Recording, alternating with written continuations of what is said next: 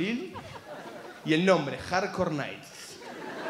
Y abajo el título, Vulvas Húmedas. Porque si con algo te cagan es con el título, el título siempre es cualquiera. Obviamente no se la di, ¿no? Y ya que estaba, me la quedé viendo. Y, se, pone, se pone jugosa después. Aparece un tipo un negro que bolista zarpado. Zarpado. Después, después aparece un enano. Bastante bien el enano. Y la tercera escena es mortal. Es un enano negro. El combo, ¿viste? Super. Reload, reload. ¿Viste? Aparte, un, enano negro, tipo, igual a Rada, igualito. Medio gordito, la carita Rada, imagínate a Rada. Y yo en un momento dije, es Rada. Es Rada enano, le pusieron la jeta a Rada, ¿viste? Y después vi que el negro estaba recolgado, un, un taburete, ¿viste? El, el- enano negro. Y dije, está, no, no es Rada porque habla en inglés, debe ser Richie Silver. Estaba, estaba convencido que era Richie Silver, pero en un momento el negro, como que en una posición media. El negro se pone a candombear en las nalgas dije, está errada. Se puso a candombear errada. Y me quedé viendo hasta el final a ver si era Rada o Richie Silver. No, Rick Thomas se llamaba el hijo de puta.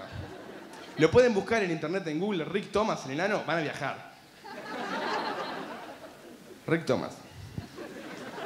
Y así estamos. Y a, a la otra semana que hacemos, vamos a la feria de vuelta, vamos al tipo de las películas y volvemos a comprar una que él nos dice que se ve bárbaro. ¿Por qué?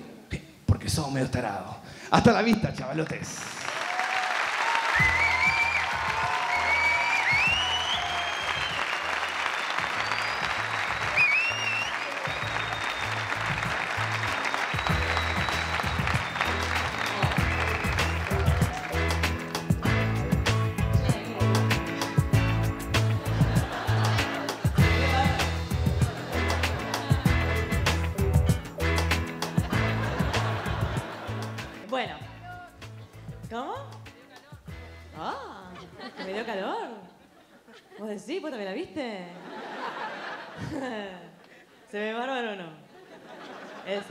Eh, bueno, él dice, él viene a hablarnos de un delirio importante. Estudió teatro y fue parte de un par de obras.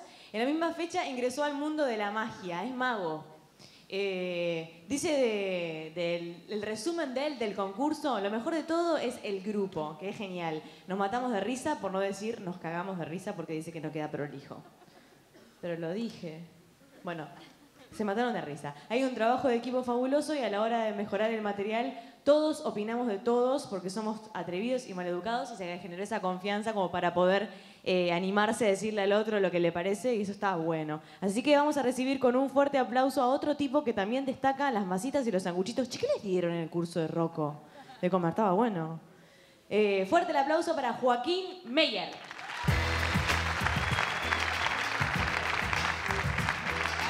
Gracias, buenas noches. Muchas gracias. ¿Cómo estáis? Bonita noche, ¿eh? Y ahora, antes, antes de comenzar, quiero pedir disculpas si digo una palabrita que no se usa o, o si hablo demasiado rápido y no se entiende lo que digo, ¿eh? De veras. Disculpen mi acento, yo no soy de aquí, soy de Paysandú.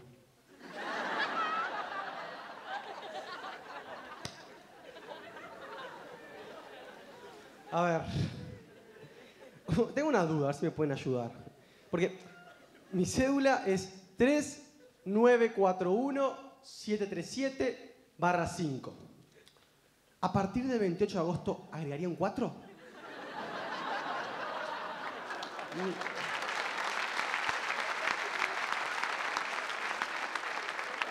No le entendí nada boludo de la policía. Gran verdad, el eslogan de Patricia. Lo que importa es lo de adentro, gran verdad, ¿eh? Lo que importa, eh, para mi novia, por ejemplo, es una filosofía de vida eso, ¿no? Lo que importa es lo de adentro. Igual hay algo que yo no entiendo, ¿no? Porque si lo que importa es lo de adentro, ¿por qué mierda le molesta que no combine la ropa? ¿Así va a salir a la calle? Tenés puesta una camisa a rayas y un pantalón a cuadros, yo así con vos no salgo. Pero mi amor, soy un buen tipo. La puta madre. Y dije la puta madre. Me dijeron, me dijeron, Joaquín, no digas malas palabras. Pero puta no es mala palabra. Mala palabra. Mala palabra es guerra. Mala palabra es hambre. Mala palabra es, ahí viene el 121 de nuevo. ¿Cómo? ¿Cómo odio el 121 y su frecuencia? O sea, es horrible, boludo, es horrible. Está media hora la parada. De tu ómnibus no hay noticias y por séptima vez, un 121. Y atrás otro. A veces me me quedo mirando si no es el mismo que está dando vuelta la manzana. Pero no, son muchos nomás. En Montevideo hay 1.5 121 per cápita. Yo calculo que si agarramos todos los choferes 121, llenamos dos estadios centenarios por abajo de la pata. Sí. Y lo, lo- lo más jodido de todo esto, ¿no? Es que después de estar media hora cagándote de frío en la parada, viendo la calecita del 121, todavía no llegó lo peor. No. Lo peor es cuando viene el ómnibus. Y te subís. Qué horrible que es viajar en ómnibus en Montevideo. O sea, yo no sé si es un medio de transporte o una máquina de tortura. Y lo peor de caso, esto así como en confianza, después de la muerte hay vida y hay ómnibus. O sea, vos estás en el purgatorio, si sos bueno vas al cielo, si sos malo vas al infierno, si sos demasiado malo, a tomarte ómnibus el resto de la eternidad. Y ahí estás el resto de la eternidad pagando boletos de 17 pesos. ¿Por qué ni viáticos te dan? Porque es horrible, ya, ya, ya desde, el momento en que te subís y está lleno. Yo no sé a ustedes les pasa, pero yo siempre que me subo a un ómnibus está lleno. Siempre, o sea, nunca hay un asiento libre, nunca. Estoy empezando a creer que los que viajan sentados son actores contratados. La vez que estuve más cerca de viajar sentado, yo iba parado así, ¿no? Yo iba parado y el tipo de adelante se levantó. Está, esta es la mía, boludo. O sea, se me plantó un lagrimón, me ericé, me emocioné mal, ¿me entendés? Iba a viajar sentado. Y el tipo de adelante se, se levanta y yo me voy a sentar y en eso me doy cuenta que tengo al lado mío mirándome a una vieja de 150 años, ciega y embarazada.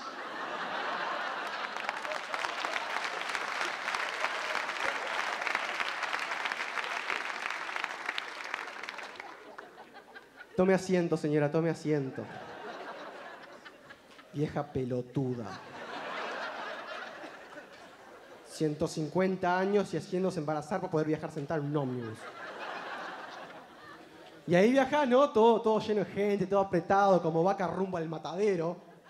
Peor, peor que vaca rumbo al matadero, porque de última las vacas en el camión no tienen un hijo de puta que les grita, ¡al fondo que hay lugar! Los guardas. Los guardas son como el punto neurálgico de ese sistema de tortura, ¿no? Es más, yo creo que en realidad en el purgatorio, si sos bueno vas al cielo y sos malo vas al infierno, sos demasiado malo tomarte ómnibus, ahora sos demasiado hijo de puta. No te, no te castigan, te contratan como guarda.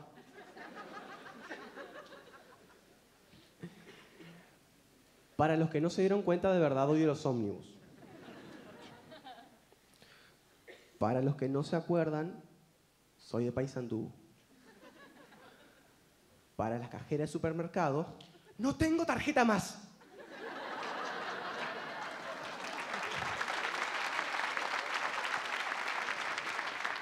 Qué onda con el tema de tarjeta de puntos del supermercado? Porque la mina te pueden cobrar dos veces la leche, pero nunca van a dejar de preguntarte, ¿tiene tarjeta de puntos? O sea, ¿vieron que hay algunas cajas que tienen, que tienen, aquí no se cobran facturas, por favor no insista? Yo voy con un cartel, no tengo tarjeta de puntos, por favor no insista.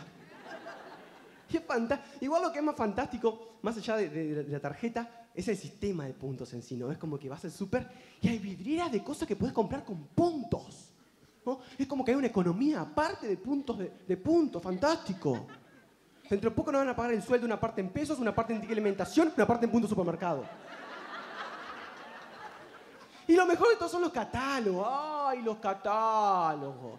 10 páginas, 4 tintas, barniz UV, divino. Hermoso catálogo. 9 páginas son al pedo. Nunca te puedes comprar más de lo que está en la primera. O sea, estás dos años juntando y te ganás un termo de acero inoxidable. Y en el... Gracias.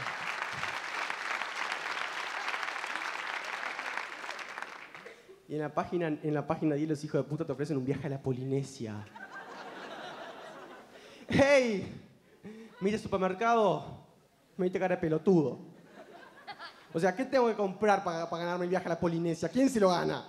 El ministro de Economía si canjea la deuda externa a través del súper nomás, porque de otra forma no hay, no hay.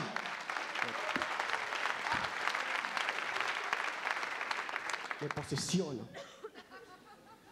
Yo, en este momento, en este momento estoy como en un proceso interno, estoy como en una búsqueda personal, ¿no? Esto del stand-up es parte de eso, hago stand-up, este, también soy mago, ¿no? Y también hice teatro, digamos, todo parte, todo parte de una búsqueda por escapar de las ocho horas. Como sea. Ojo, no, no, no es que me moleste hacer ocho horas, no. Lo que me molestaría sería trabajar durante esas ocho horas. ¿No? O sea, ir y no hacer nada no me jode. No, no, lo aclaro porque esto es bien importante, ¿no? Hay gente que se piensa que hacer ocho horas y trabajar es sinónimo. Y no. Preguntar a un empleado público.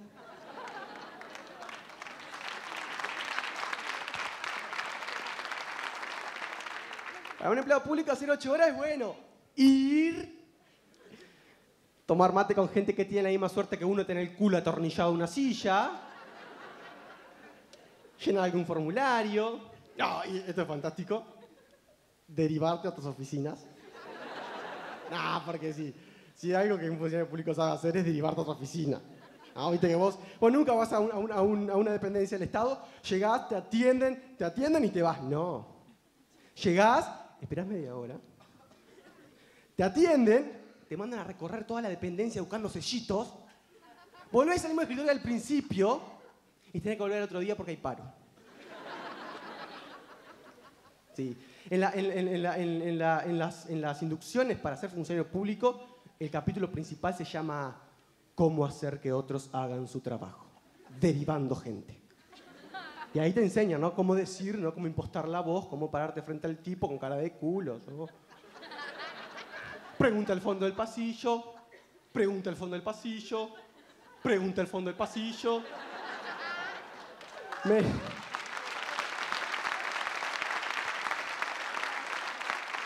Pregunta al fondo del pasillo. Me imagino, me imagino a un empleado público en la cola del supermercado. ¿Tiene tarjeta de puntos? Pregunta al fondo del pasillo. Y bueno, en- en- en- dentro de esa búsqueda es que soy mago. Soy mago. La gente curiosa siempre me pregunta, ¿cómo, cómo, es, que, ¿cómo es que empezaste a ser mago? ¿Cómo es que, que arrancaste en esto? ¿no? Y es como que en realidad, la verdad, fue como que de un día para el otro. Yo este, iba caminando por la calle, de repente miro para abajo y estaba levitando. ¡A la mierda, soy mago! ¿Y soy mago? ¿Y soy mago? Y acá estoy. No es fácil, ¿no? no es, es complicado. Ser mago en Uruguay es complicado. ¿sí? Es como que no hay referente, ¿no? Yo sé, yo sé, en otro lado tenés. No sacan a Houdini, el rey del ecapismo. ¿Viste? Houdini, el rey del ecapismo. Acá en Uruguay, el rey del ecapismo. Lo mejor que puede tener es al cotorra loca que capó tres veces libertad, pero es mucho más que eso. Y después el tema de las cartas. El tema de las cartas, viste que los magos hacemos cartas, magia con carta francesa, la de póker. Después están las cartas españolas, la del truco, y no hay muchas más cartas. Yo siempre imagino cómo sería, ¿no? Poner las cartas de otros países, ¿no? Yo qué sé, ponele las argentinas. ¿No? Las con lo creído que son estos hijos de puta, serían más grandes las cartas que el estuche, ¿no? Para empezar. Fue fantástico cuando hice este chiste en Colonia. Esta cicatriz de esa época. Hermoso. Qué linda experiencia. Igual vieron que dice que Colonia es argentino. No, es mentira, van muchos argentinos, pero no es argentino, es bien uruguayo. Yo me di cuenta de Colonia es bien, bien uruguayo cuando vi la política de precio de los comerciantes, ¿no? Dije, "Ta, estos hijos putos son uruguayos. O sea, los tipos, no importa en qué moneda pagues, siempre te cobran lo mismo. ¿no? Vos uruguayo, che, flaco, ¿cuánto sale esto? "Eh, 200 pesos. ¿Sos argentino, no? Che, flaco, ¿cuánto sale esto? ¿En pesos argentinos? Sí, 200 pesos. Y yo europeo también, che, ¿cuánto sale esto? "Eh, eh, ¿En euros? Sí. "Eh, pará, está 27. Eh, 200 euros. Te lo puedo dejar a 180 porque me has comprado algunas cosas, pero haciendo un sacrificio enorme. Es fantástico. No, y después, no, ¿cómo serían, no, hablando de las cartas, ¿no? ¿cómo serían las cartas uruguayas? ¿No? ¿Qué, yo qué sé, qué, qué, palos tendríamos, ¿no? ¿Qué palos tendría la carta uruguaya? La, la planta de voz tenía, un cartel de prohibido fumar, y en la gorda empleada pública tras la escritorio el montón de expedientes, ¿no? Tengo el 7 de empleada pública y te mato. Y maté. Igual estaría buenísimo porque, a ver, así, ya estamos como que en confianza, ¿no? Ya estamos en confianza, yo les cuento, soy bastante desordenado, de prolijo, horrible. Y como que las cartas de hacer magia las cartas, o sea, las francesas y las españolas se me mezclan. A veces estoy jugando al truco y es tres de basto, espadilla, siete de diamante. Me pasa. Y con las cartas uruguayas no me pasaría eso. No, pues yo qué sé, donde una carta uruguaya se mete en el mazo español, la deportan a la mierda, ¿no?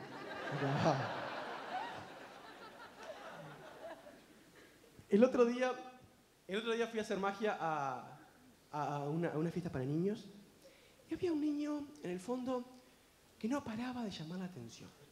¿No? Esos niños que están, están constantemente como que necesitando que uno esté encima de ellos. ¿no? Esos niños que eso, eso que en psicología infantil se los conoce como pendejos rompehuevo.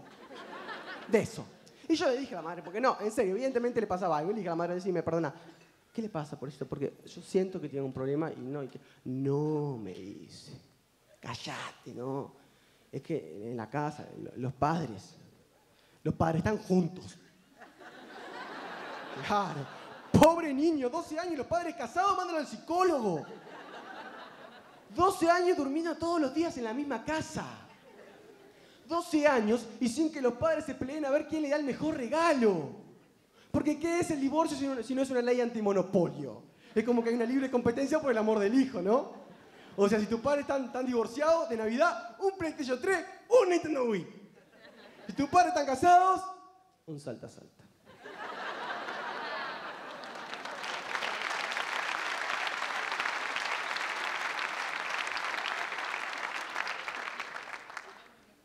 Antes, antes de irme quiero contarles algo que, por lo que estoy contento, porque estoy contento, cambié de laburo y estoy feliz. Porque ahora gano la mitad, hago el doble horario y no me pagan horas extras. Pero por lo menos queda en punto carretas y me sirve el 121. Muchas gracias, buenas noches.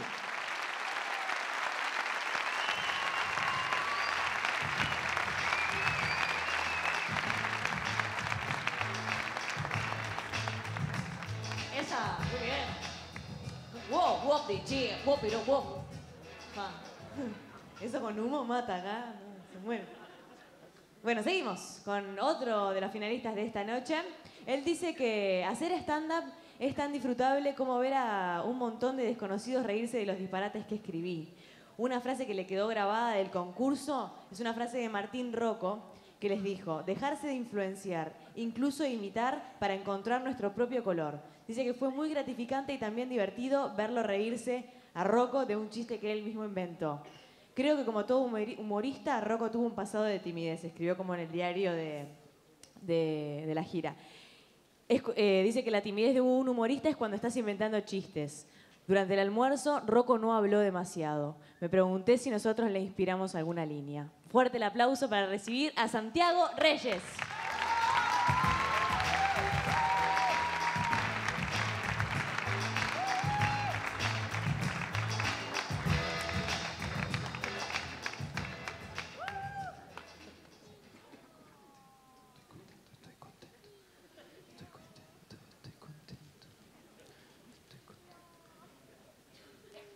Hoy estoy contento. Tento, pasá. No seas tímido.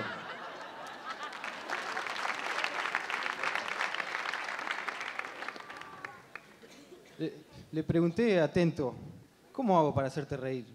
Me dice, yo me río cuando me siento identificado. Me encantaría sentirme identificado con ustedes esta noche. 3.502.846 barra 1. Las mujeres, las mujeres. ¿Quién no ha sido rechazado alguna vez por una mujer? ¿Quién no ha escuchado esa frase? Estoy confundida, necesito tiempo. Esta frase es tan antigua como la mismísima mujer. Eva le dijo a Adán, Adán, estoy confundida, necesito tiempo. Y al otro día ya estaba tomando licuado de manzana con los monos.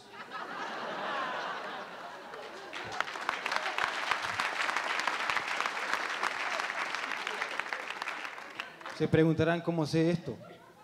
Fácil. Me fijé en el Evangelio. Ahí explica todo. Ahí dice todo cómo fue el tema. Dice que, claro, dice que llegó Adán. Qué, momento, ¿no? Cuando vio eso. "E- Eva, dice. Eva, ¿qué haces? Tomando licuado de manzana. Íbamos a hacer una compota de manzana. Y todavía con los monos. ¿Sabéis bien cuánto me molesta la teoría de Darwin?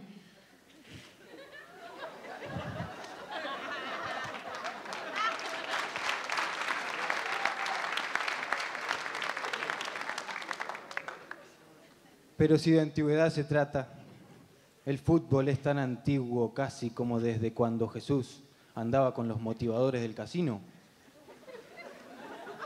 Los apóstoles. En ese entonces el fútbol ya funcionaba como escape social. Era en ese escenario deportivo donde se veían las verdaderas personalidades. Porque una cosa es la imagen que uno proyecta, ¿no? Pero en verdad lo que importa es lo de adentro. Y déjeme decirle que los medios de comunicación han creado una imagen corporativa de Jesús que no tiene perdón de Dios.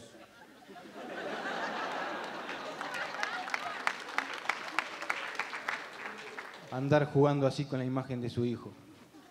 No tienen vergüenza. Ya nadie tiene vergüenza. Voy a poner una fábrica de vergüenza, me voy a hacer rico. Porque el verdadero Jesús, el que se veía en el fútbol, no era como lo pintaban los medios. Los medios son mentirosos. Mentiroso como el albañil que cobra barato. Ah, el albañil que cobra barato siempre te reforma la casa en 10 días. Yo me fui a vivir con mi novia, me dejó mi novia, quedó el albañil.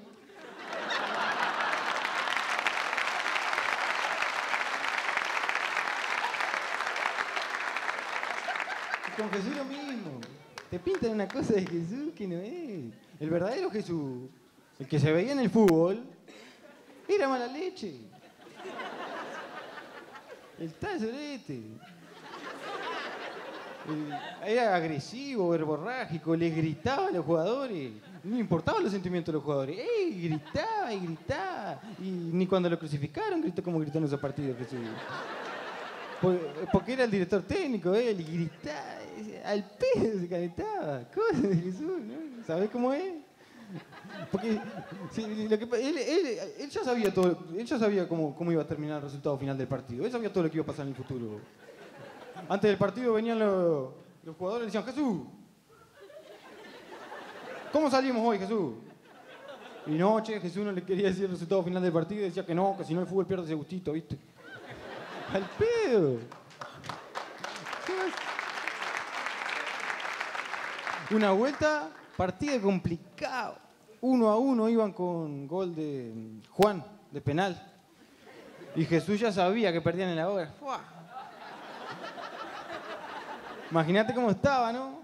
Rabiaba ese mosaico. Al primer tiempo empezó a llover. Al segundo tiempo, tormenta eléctrica. ¿Cómo no va a sufrir, pobre loco? Si lo estaba mirando el padre. Y Jesús siempre se ponía nervioso cuando miraba al padre. Claro, porque ese es otro punto que no hacen hincapié los medios de comunicación. Jesús es un tipo que, que venía de afuera, que estaba solo acá, todavía mantenido con el sacrificio del padre, que estaba solo allá arriba también. Mucha presión. Se le empezó a formar como, como se le formó como un gollete, así como un, como un enjambre de nervios acá en el, en el cartílago. Eh, pero, pero, pero por dentro, ¿no? Por dentro. Por fuera, la imagen, lo que te digo, la imagen quietito, como quien está necesitado un baño público con puertas sin tranca. Viste que está quietito. Y si aparece alguien, para hacerle saber que estás ahí, no se genera una situación incómoda, metes un. Y siempre hay un boludo igual que se abre la puerta. Opa, perdón. ¿Cómo perdón? ¿No escuchaste que te dije?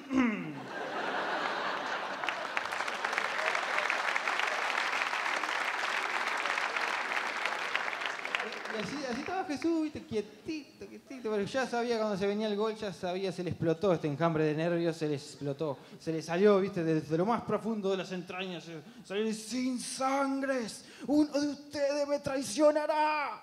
Gol en contra de Judas. ¿Y pa' qué, no? ¿Pa' qué? Jesús se quería morir y resucitar. Y morir y resucitar. Y morir y resucitar. Pobre. Hay que entenderlo, ¿no? Hijo único. Hijo único. Hijo único siempre sale torcido, egoísta, envidioso, nunca tuvo hermano con quien compartir. A Jesús pasó lo calentar, porque lo lindo era, era verlo enojado a Jesús, porque, claro, porque ese hacía eh, Jesús, pero se enojaba también. Eh, entonces, para hacerlo calentar, él cuando estaba en el banco suplente ahí de la tribuna de atrás, le, le decían, hijo único. Y Jesús se vuelta, ¿viste? no sabía quién era que le decía, hijo único, hijo único. Y se agarraba la calentura. Una vuelta dijo en una entrevista, oh, no me gusta que me diga más, hijo único. Oh. ¿Pa qué, no? Todo el estadio. Hijo único, hijo único, hijo único. Seguro.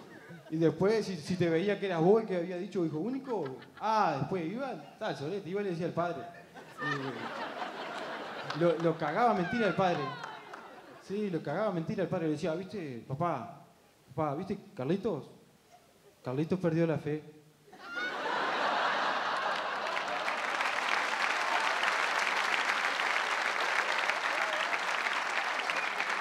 Ya dijo, ya me dijo, ya me dijo no se piensa arrepentir. Para mí que hay que ir adelantando los procesos. Ah, aureolas verdes le hacía sacar al padre. ¿Qué personaje ese Jesús, no? Ah, cada una se mandaba dos por tres. Eh, este, este decía que tenía que andar haciendo milagros cada tanto, ¿viste? Porque si no, no le creían que él era Jesús. ¿Te imaginás? ¿Qué tal? Yo soy Carlito. ¿Qué tal? Yo soy Jesús. Anda, vos sos Jesús. Voy a la vuelta a casa. Vos, Pocho, este loco dice que es Jesús. Anda, vos sos milagro, vos. Y seguro. Jesús un relajado bárbaro. Se gastaba todos los milagros los primeros 15 días del mes. Y la segunda quincena tenía que andar con todo ese discurso, ¿viste? Dichoso creyente, si crees sin ver. Irás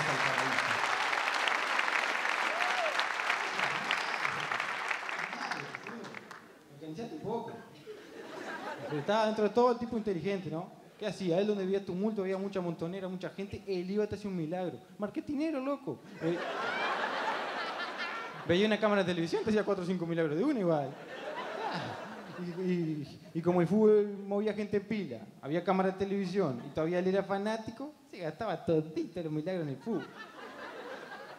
Y como innovaba, la televisión lo filmaba. Innovaciones, Jesús, ¿no? Una vuelta estaba él en el medio de la cancha, las cámaras lo filmaban, los jugadores lo rodeaban y Jesús dice, ¿qué es esto? Le dice Mateo. Es un bidón. ¿Qué tiene el bidón? Sangre. ¿De dónde salió esta sangre? De tu cuerpo, Jesús. Bueno, entonces tomad. Tomad y bebed, porque esta es mi sangre. ¡Pecho frío! Bueno. y- pero había, había una pregunta que lo hacía calentar más que el fútbol a Jesús. Le decían, che, Jesús, ¿vos crees en Dios? Ah, se agarran las calenturas. Decía, dudá, dudá de papá nomás, ya va a ver dónde terminás vos. Bueno, todo el mundo tiene derecho a dudar, ¿no? ¿Existe Dios? Y sí. Y si existe, se esconde muy bien, ¿no? Jugando a la escondida pica por todos los compas, digamos.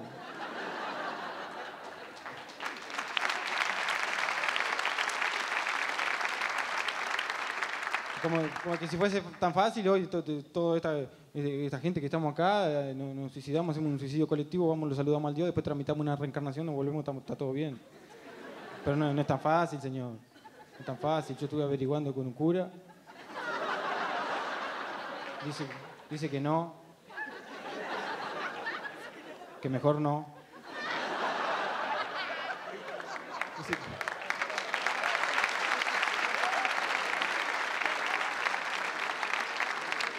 Dice, Sí, me dijo. Dice que es un quilombo bárbaro tramitar la reencarnación. Tiene que morirte de lunes a miércoles de 9 a 13 horas. Te piden justificativo de rezo, asistencia a la iglesia y nivel de fe. Si no tenés todo en regla, minga te vas a reencarnar. No te reencarnás, no. Vos pensabas que te reencarnaba. No te reencarnás.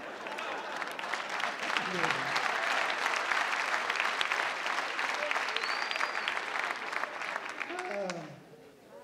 Bueno, ah, ahora, ahora eh, todos a bailar. Eh. Nos paramos todos a la cuenta de tres y a bailar. Uno, dos y. Todos a bailar, todos a bailar. Aquello con aquello, los otros con los otros, algunos con alguno con ritmo, nos movemos. Piti, piti, piti, piti, amor, mi amor, dime que me quieres. Si tú quieres ser feliz en el limbo de vivir, el que no baila es un aburrido, el que no baila es un amargado. Zapatos rotos, zapatos rotos, vagando por las calles, mirando a la gente pasa, la gente pasa. Era una noche de primavera y yo tirado en la catrera. Noche en la ciudad, gente que viene y que va. Tú eres el amor que yo esperaba. lo que tanto di- Me gusta el mar, tengo alma de navegante, mi bandera va adelante y mi co... Ay, rosa, rosa, como como la que dice, como la que dice, como la que dice, como la que dice. Ay, amor divino, cuando tienes que volver.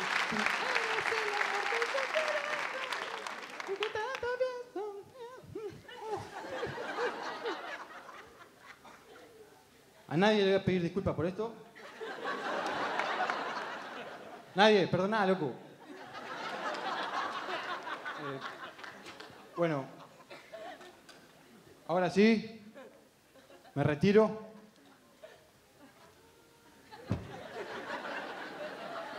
La verdad.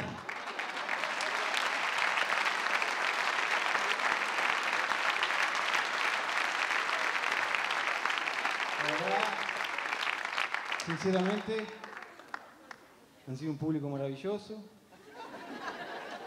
Hoy me voy contento.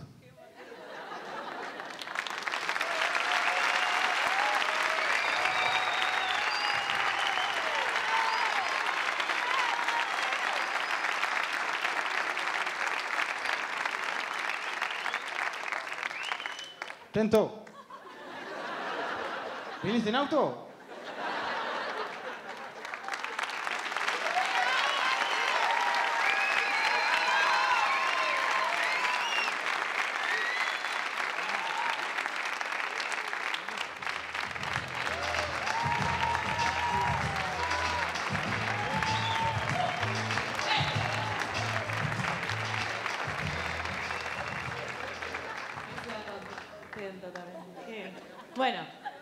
A la última finalista, a la mujer, bendita ella es. Ahí están las amigas. ¿Y ahí también? ¿Familia? ¿La madre? La amiga, la prima, la amiga. Ah, la amiga de la película porno. Ah, bandidas. Bueno, eh, estudió comunicación, redactora, redactora creativa, amiga, madre y toca el piano. Cuando me llamaron para decirme que había quedado entre los cuatro finalistas, no sabía si asomarme al balcón y gritar Uruguay no más o llamar a mi terapeuta de nombre mamá, que de repente está por aquí, para que me baje el pánico. Y después, más adelante, cuando ya estaba de gira, escribió, el glamour me toca la puerta insistentemente, hasta polka no paro. Ya tengo el guion, dice.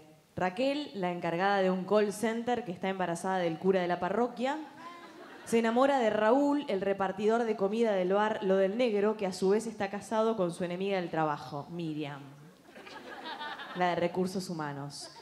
Y pone entre paréntesis, pido si Raúl lo puede hacer Laporte. Gracias.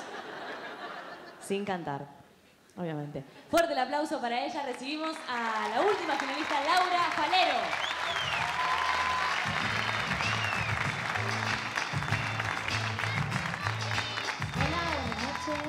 ¿Cómo andan? Sí, soy la única mujer entre tanto hombre, ¿no? No ha sido fácil este, este mes.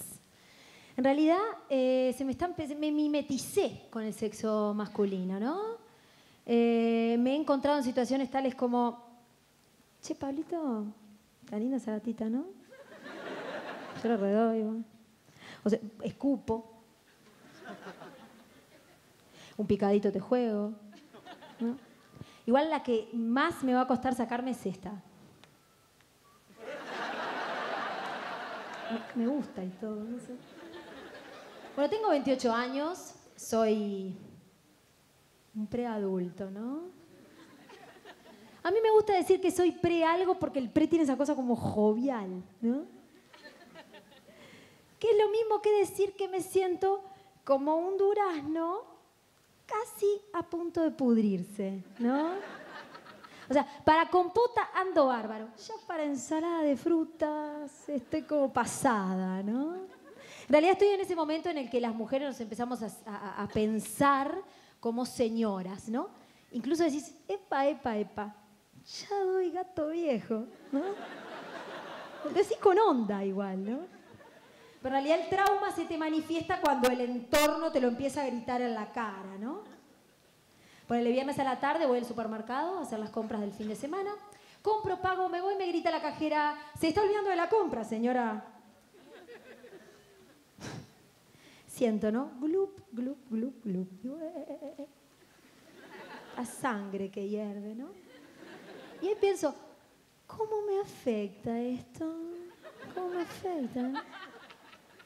Y le digo, a ver chiquita, acabo de comprar vino, puchos, ricarditos y condones, ¿eh? Sexo, droga y rock and roll. ¿Mm?